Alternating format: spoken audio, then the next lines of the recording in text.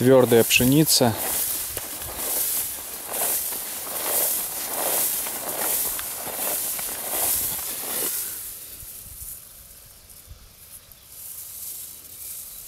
Начала болеть.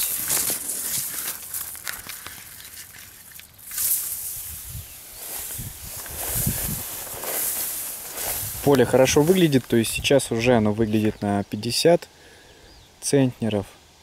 А как себя поведет, понятно, непонятно пока, потому что в целом пшеницы твердые в нашем регионе неплохо получаются. Максимальная урожайность была в 2014 году.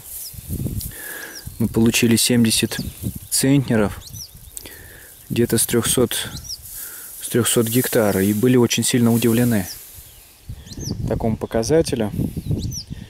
Вроде бы колос небольшой, в то же время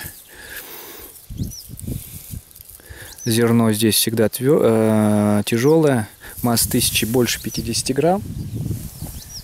И колосков здесь по количеству тоже немало.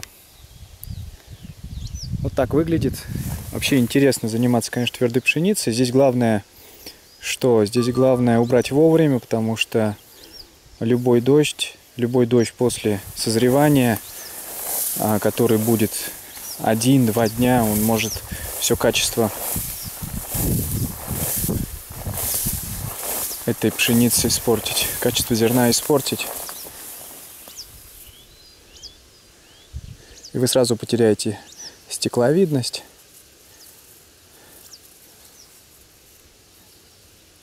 И посевные качества посевные качества пшеницы.